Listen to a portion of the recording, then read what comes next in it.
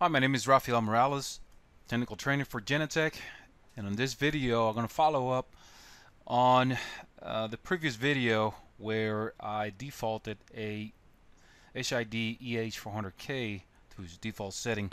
I'm going to go ahead and log into that one panel now, um, and I'm going to get this panel HID ready to be added or enroll into Security Center 5.5. Okay, so I'm going to now that I um, uh, brought my panel to default. I'm going to log in or connect to it via the IP address of 169.254.242.121. Uh, username admin and the password should be blank here. Now I'm going to go ahead and configure. Let me go ahead and expand this uh, this page here. I'm going to configure my panel. It's a static IP address, and I'm going to assign an IP that I know I can use on my network.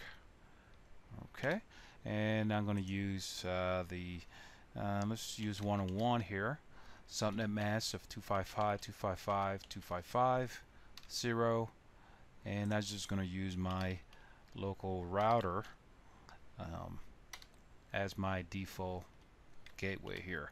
Now, very important to uh, to know that if there's no DNS on the network that is available to be added on these two fields here on DNS uh, that we must use and since I don't have one uh, we must use the uh, the same IP that we use to assign to the panel. So in this case will be 192.168.1.101 so again if there's no DNS available you must add the same IP address of the panel under the DNS um, fields here. Okay, so this is 101 as well. Um, I'm not going to use a host name. Very important to also know that if you're going to use a host name, do not exceed uh, 15 characters here. And uh, quickly, let me go ahead and submit. Actually, I have to go ahead and type in a password. It's a good idea to type a password, not leaving it as blank.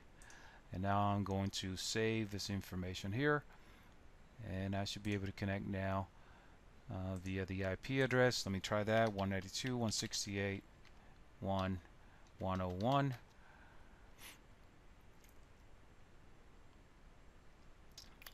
Okay, let me advance. and proceed. And now I should have that information there ready. Also very important, we need to go to the advanced setup and make sure that uh, FTP, Telnet are enabled okay as well. If not we're going to have issues connecting to this panel or adding or enrolling the panel to security center okay? So now, let me go ahead now and go to config tool here.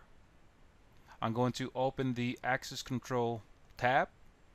I'm going to add the unit or enroll the unit. Is ready to be enrolled against my server here which is hosting the access rule uh, the access manager I'm sorry Going to the Access Manager, several ways to do that. I'm going to just go ahead and click on uh, the plus sign here. This is an HID VertX unit, and I'm going to add the 192.168.1.101, and I'll type in the password of password uh, root and pass. And I click on close and create. It should take several seconds while the access manager is um, accessing the unit uh, but very soon it should be uh, the process should be completed and our unit should be added to our access manager here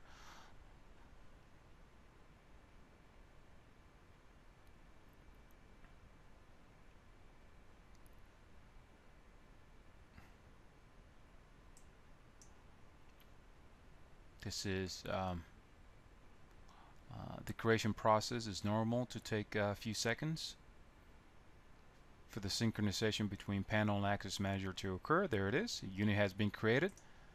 And if I click on close now and I go to my access manager, we should see our brand new a, um, HID EH400 unit added. In the next video, I'm going to go ahead and create a door using that HID unit. Thank you very much. You have a good day.